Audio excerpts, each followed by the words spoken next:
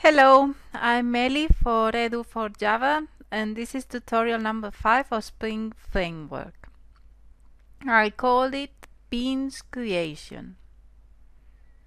Okay, let's summarize the characteristics of Spring, which we have seen until now. Spring is an object container.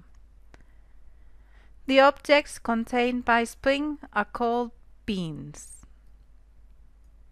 it would be a beans container. Beans are normally objects, are normal objects. When we use Spring, uh, we configure the objects which go inside the container in an XML. If you remember from the tutorial number 3, we created an XML and we defined there the beans or the objects which are going to be contained in the Spring container. Spring creates the objects. In the last tutorial we created a small container and we saw that from an dot properties we could create objects. Spring does the same but from an XML. It reads the XML, it looks for the defined objects in the XML and it creates them. With a class loader, new instance, and it creates the objects. After creating the objects, Spring injects values in the objects. As we had seen in the last example, we inject in a property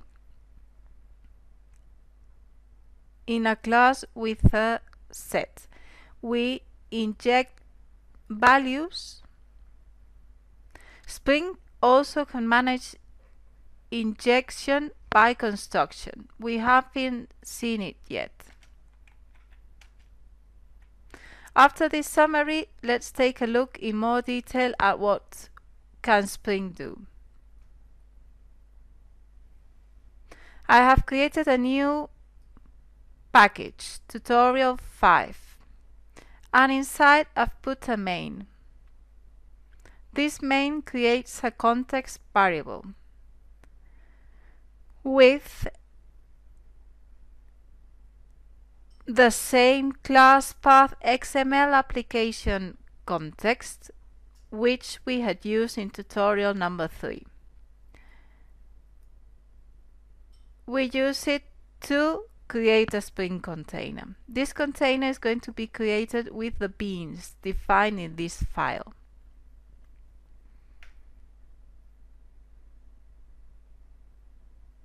This class works with class path and I'm telling him where the context.xml is rela relative to the class path. Here I'm saying that it's inside com edu for Java Spring tutorial 5. Why? Because this XML is inside the package.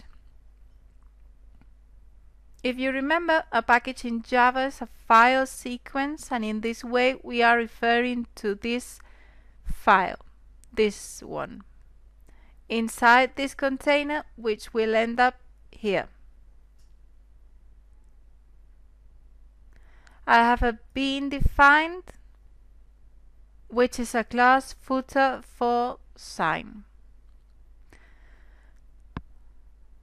I can do containers here nettext dot get bean and I can recover this class the class which is under the name footer for sign.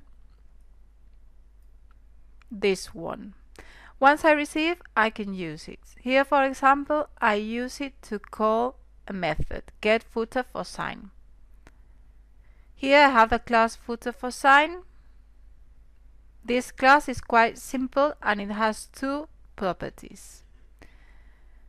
And it writes what you usually um, need to sign the name, the date, and the place.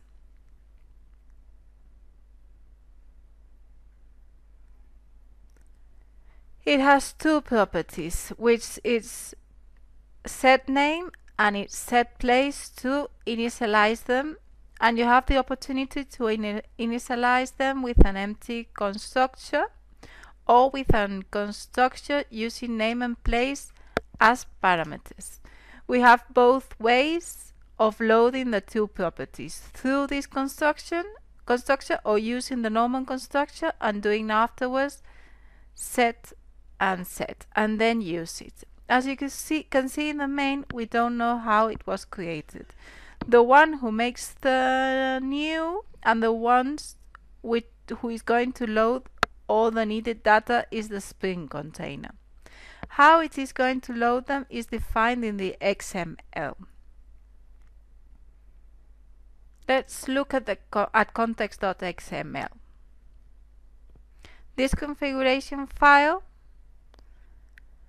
normally starts with a tag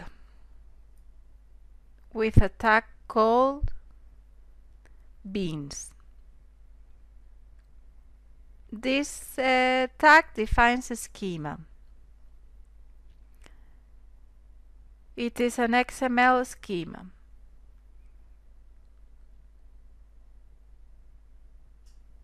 The schema we are going to use is this one. This is the name of the Spring schema and will define what is valid and what isn't inside this XML.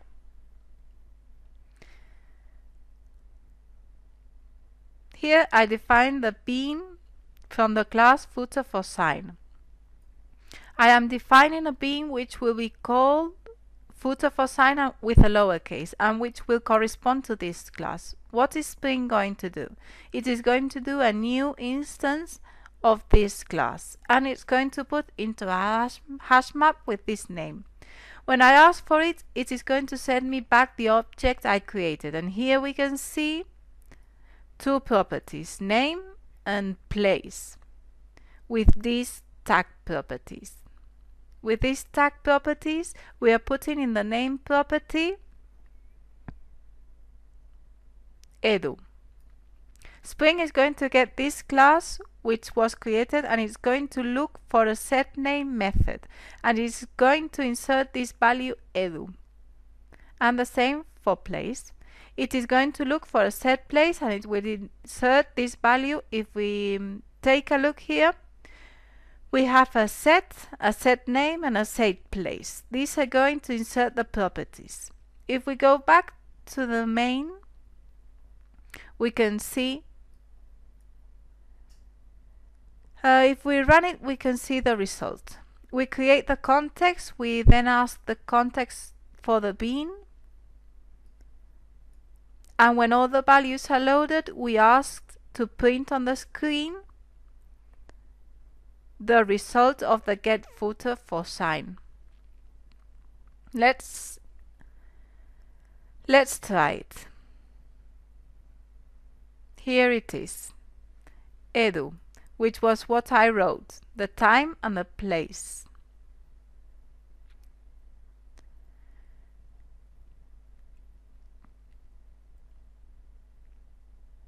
Okay, this is one way to define a bean.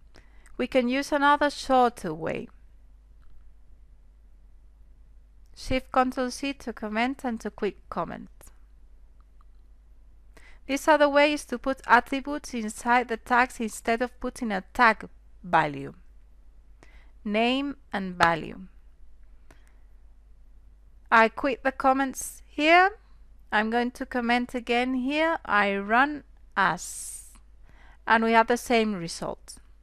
I'm going to change something so that you can see. And here it is. This is with set. We had uh, done this before, we can also do it through a constructor.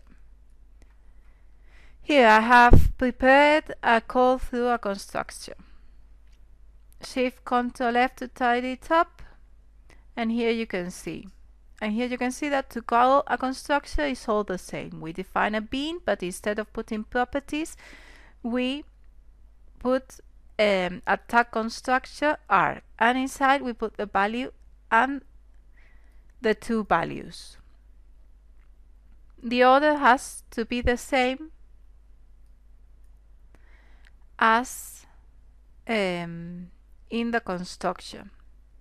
We are going to go through this constructor which is going to match in types and in names. Let's run it. And here we have the same.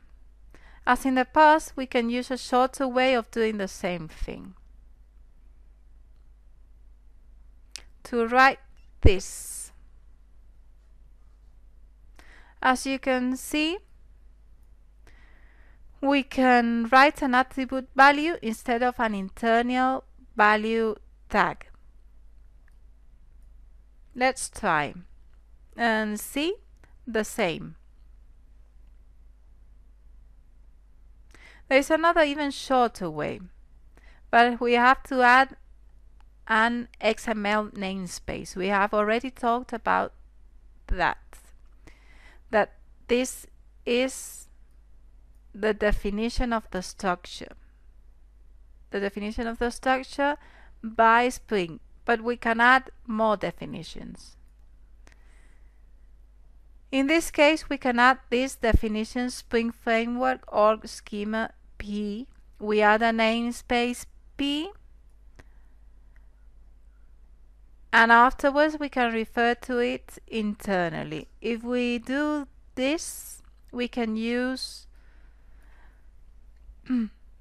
something like this p name which will be like calling property name and directly we can put in this attribute p name edu of the bean footer for sign and the same for place